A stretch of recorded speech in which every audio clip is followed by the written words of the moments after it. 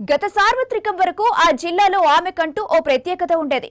అందులోనూ ఆ నియోజకవర్గంలో ఎదురులేని నేతగా ఎదిగారు. వయసులో చిన్నదైనా రాజకీయాల్లో మాత్రం సీనియర్లను సైతం ముచ్చమటలు పట్టించింది. సీన్ కట్ చేస్తే ఉన్న అధికారం ఒక్కసారిగా దూరం కావడంతో అప్పటి వరకు తన వెంట నడిచిన బడా నేతల దగ్గర నుంచి చిన్న కార్యకర్తల వరకు అందరూ దూరమయ్యారు. అప్పటి వరకు తండ్రిలా భావించిన నేత సైతం ముఖం చాటేశారట. ఇంతకీ ఎవరా నేత? ఆ నేత భవిష్యత్ ఏమిటన్నది చూద్దామా?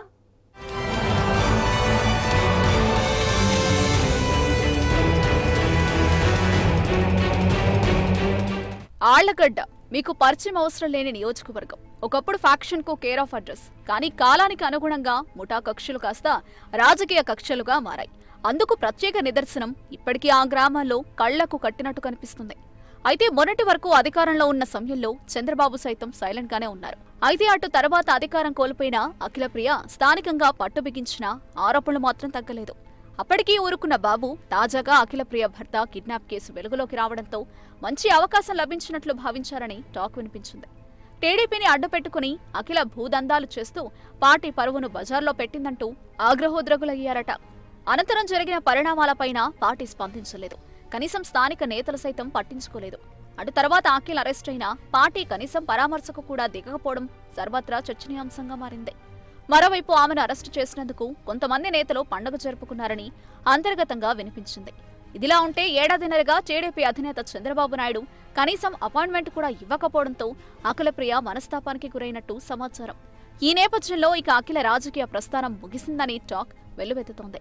దీంతో టీడీపీలో తన రాజకీయ భవిష్యత్తు ముగిసిందన్న ఆలోచన ఆమెలో మొదలైందని విశ్లేషకులు అంచనా వేస్తున్నారు.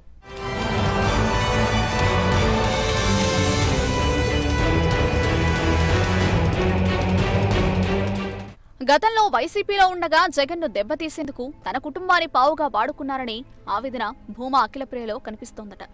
అవసరం తీరాక తనను పట్టించుకోవడం లేదనే కోపం ఆమెలో కనిపిస్తోందని సమాచారం. మరోవైపు అఖిలప్రియ కిడ్నాప్లు భూదందాలకు పాల్పడుతూ పార్టీకి చెడ్డ పేరు తీసుకొస్తుందనే ఆగ్రహంలో చంద్రబాబు ఉన్నట్టు కర్నూలు టీడీపీ నేతలు చెప్తున్నారు. భర్త తమ్ముడితో కలిసి ఆమె పార్టీ పరువును బజారు పడేస్తున్నారని ఫిర్యాదులు టీడీపీ అధిష్టానానికి వెల్లువెత్తుతున్నట్టు సమాచారం. అందుకే తెలంగాణలో ఆమెను జైల్లో వేసిన చంద్రబాబు లోకేష్ ఏమాత్రం పట్టించుకోలేదని కన్నులు టీడీపీ నేతలు గుర్తు చేస్తున్నారు మరోవైపు టీడీపీ కార్యకర్తలు గ్రామస్థాయి నాయకులకు అఖిలప్రియ అన్న బీజేపీ నేత భూమా కిషోర్ రెడ్డికి దగ్గరవుతున్నారనే సమాచారం అధిష్టానానికి చేరింది. ఇదే సభ్యుల్లో కష్టాల్లో ఉన్నప్పుడు చంద్రబాబు లోకేష్ పట్టించుకోకపోవడం అపాయింట్మెంట్ కోరినా ఇవ్వకపోవడంతో టీడీపీలో తన భవిష్యత్తుపై ఆమెలో ఆందోళన మొదలైంది. వచ్చే ఎన్నికల్లో పార్టీ టికెట్ ఇస్తుందన్న నమ్మకం లేదన్న వాదన రోజురోజుకు వ్యక్తమవుతోందట. దీనికి టీడీపీ పెద్దల నిరాధారణే నిదర్శనమని ఆమె తన సన్నిహితుల వద్ద వాపోతున్నారట. ఇలాగైతే టీడీపీలో కొనసాగడం వేస్ట్ అని భావిస్తున్నట్లు సమాచారం. దీంతో ముందుగానే ప్రత్యామ్నాయ రాజకీయ వేదిక చూసుకునేందుకే అఖిలప్రియ ఆలోచిస్తున్నారని తెలుస్తోంది. అయితే వైసీపీలోకి మళ్ళీ వెళ్ళేందుకు తీవ్ర ప్రయత్నాలు చేసినా ఫలితం లేకుండా పోయింది. దీంతో వైసీపీ కన్నా బలమైన పార్టీ దిశగా అడుగులు వేయాలని ఆమె యోచిస్తున్నట్లు సమాచారం.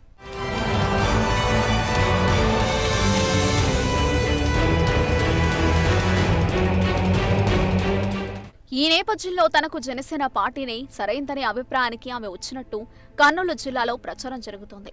గతంలో తన తల్లిదండ్రులు ప్రజారాజ్యంలో చేరడం ఆ పార్టీ తరపున ఆళ్ళగడ్డ నుంచి శోభా నాగిరెడ్డి గెలవడం తెలిసిందే. దీంతో చిరంజీవి పవన్ కళ్యాణ్లతో భూమా కుటుంబానికి మంచి సంబంధాలున్నాయి. తన భర్త భార్గవరామ్ కూడా అదే సామాజిక వర్గం కావడం కూడా అఖిలప్రియకు జనసేనలో కలిసొచ్చే అంశంగా రాజకీయ విశ్లేషకులు చెబుతున్నారు ప్రస్తుతం అఖిలప్రియ వెంట బలిజులు ఎక్కువగా ఉండడానికి భర్త సామాజిక నేపథ్యమే కారణమని భావిస్తున్నారట. అందులోనూ మెగా ఫ్యామిలీతో మంచి సన్నిహిత సంబంధాలు ఉన్నాయని బాహాటంగా వినిపిస్తున్నాయి.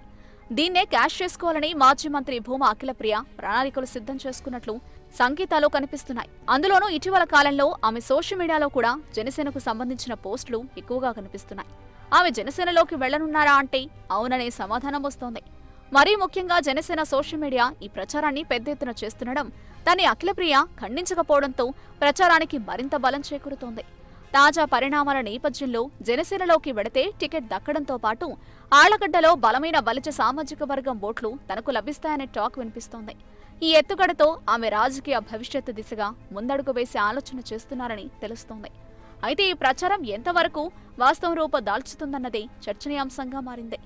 ఆమెపై కిడ్నాప్ భూదందా కేసులు నమోదు కావడం సాక్ష్యాలు బలంగా ఉండడంతో జనసేనాని అనుమతిస్తారా అన్న చర్చ సర్వత్రా వెల్లువెత్తుతోంది